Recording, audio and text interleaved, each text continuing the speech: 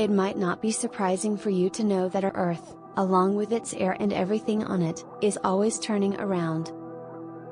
So, one of life's undeniable truths is that the Earth is constantly rotating on its axis. The Earth rotates on its axis, completing one full turn in about 24 hours. At the equator, this rotation happens at a speed of roughly 1000 miles per hour.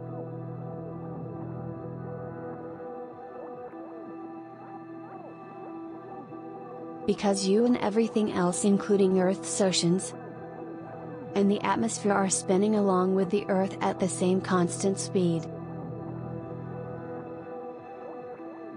When you're sitting in a bus that's moving at a constant speed of 40 miles per hour, do you feel that you're moving at the same speed? Of course you don't. Because you are sitting inside it and therefore moving along with it at the same speed. Your motion is linked with the motion of the bus, creating no relative motion between you and the bus. We only perceive motion when there is relative motion between two objects.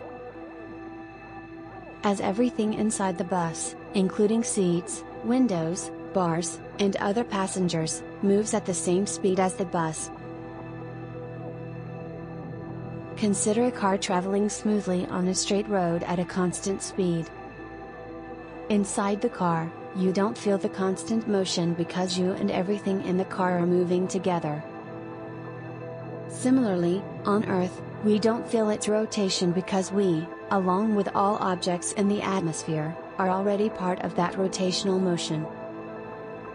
It's a continuous and consistent movement that we are essentially riding along with.